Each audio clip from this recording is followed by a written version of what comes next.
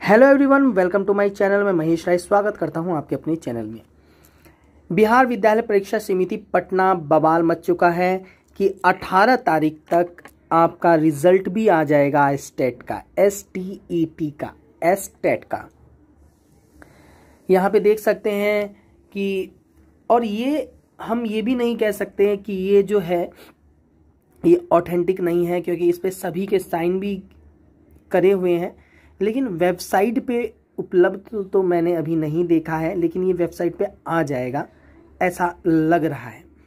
लेकिन क्या होता है, क्या नहीं होता है, क्या सच है, क्या झूठ है, ये दो तीन दिन के अंदर ही आपको पता चल जाएगा। आप चैनल से जुड़े रहिएगा, यहाँ पे आपको अपडेट दे दी जाएगी। अब यहाँ पे देख सकते हैं कि बिहार जो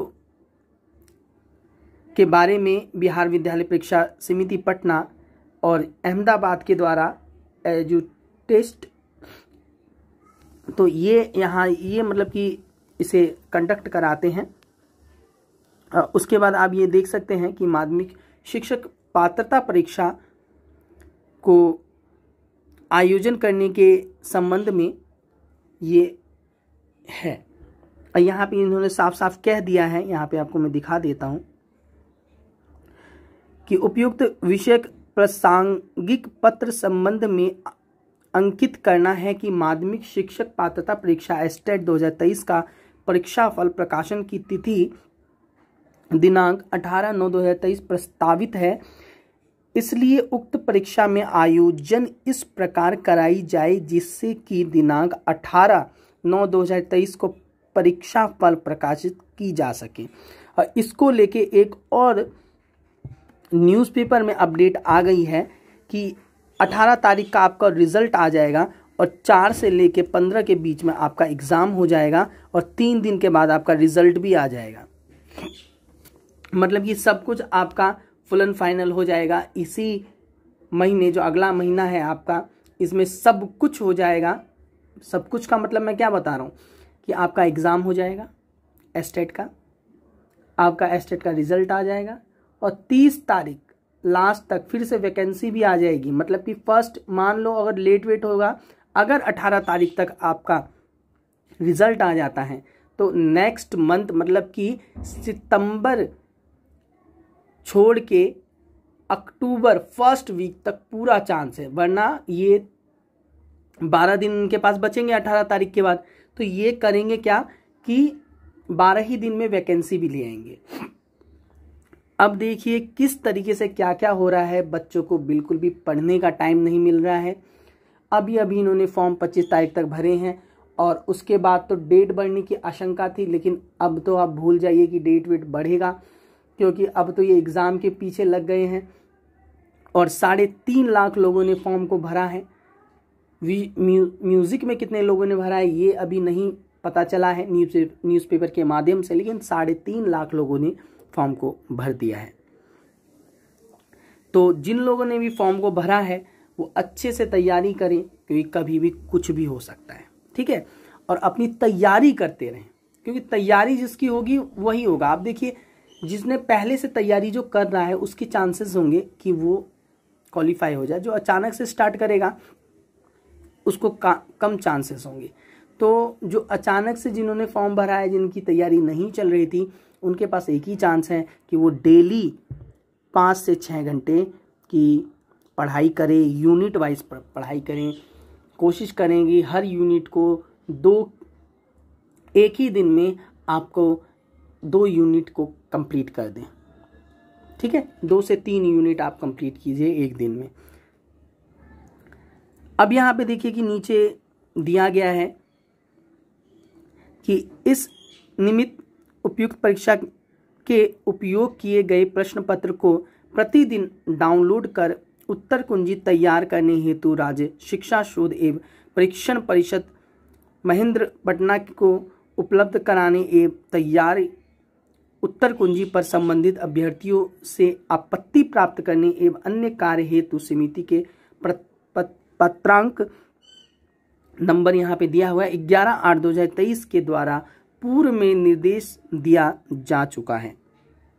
अंत उक्त के आलोक में अनुरोध है कि परीक्षा केंद्र का निर्धारण, ए परीक्षा संबंधित अन्य कार्य इस प्रकार किया जाए कि परीक्षा फल का प्रकाशन दिनांक आठ नौ 2023 को अचूक रूप से किया जा सके। अचूक रूप से मतलब कि हो ही जाए बिल्कुल।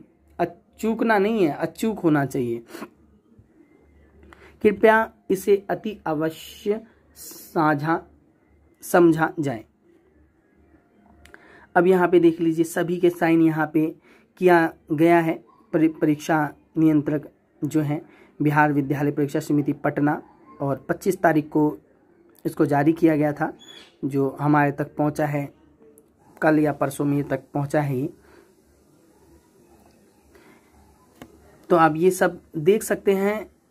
अभी मैं क्या बोलूँ, मेरे पास खुद कोई शब्द नहीं है कि इतनी जल्दी फॉर्म भरा और इतनी जल्दी एग्ज़ाम होगा, इतनी जल्दी रिज़ल्ट आएगा, फिर इतनी जल्दी, सब कुछ इतनी जल्दी जल्दी इसलिए हो रहा कि उन्होंने बिल्कुल भी टाइम नहीं दिया और उसमें उनकी अपनी गलती थी इसलिए वरना हमारा एग्ज़ाम तो हो चुका होता। क्योंकि एस्टेट वो, उनको क्या करना चाहिए था, उसमें सभी को शामिल कर लेना चाहिए था। उसके बाद वो एस्टेट ले लेते। समझ रहे हो? मतलब कि जितने भी लोग हैं, सभी को वो शामिल कर लेते, ठीक है? उसके बाद वो एस्टेट ले लेते और एस्टेट को फिर जो क्वालिफाई करता तो उसकी, उसको ज्वाइनिंग दे देते। अगर वो बोल रहे हैं कि एस्टेट ज़रूरी है, वैसे एस्टेट क्यों ज़रूरी है मुझे नहीं पता। दिल्ली में एस्टेट ज़रूरी नहीं है।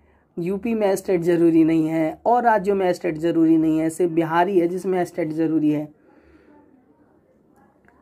अब कुछ हरियाणा भी करने लगे हैं एस्टेट वहाँ पे एस्टेट चलता है।